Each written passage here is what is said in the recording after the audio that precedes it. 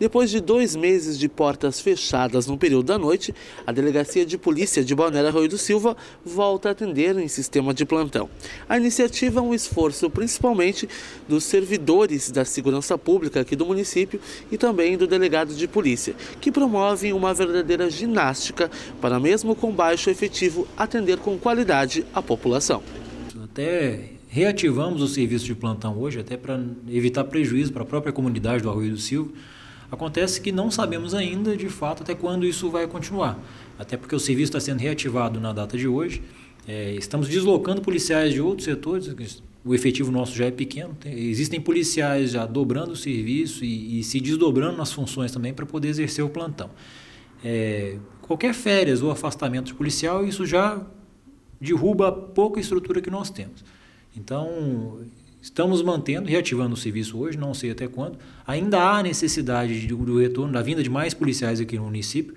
Seria interessante até que agora que o poder público e a própria população cobrasse dos nossos governantes esse, é, essa vinda de policiais para cá. Isso é uma obrigação do Estado. Né? E, e acho que já está passando da hora das pessoas acordarem e das coisas começarem a acontecer de fato. O trabalho vem sendo feito, as prisões são feitas em quantidade considerável, o trabalho de investigação vem sendo feito mas sobre custa, sob pena de, de desgaste dos nossos policiais. Né?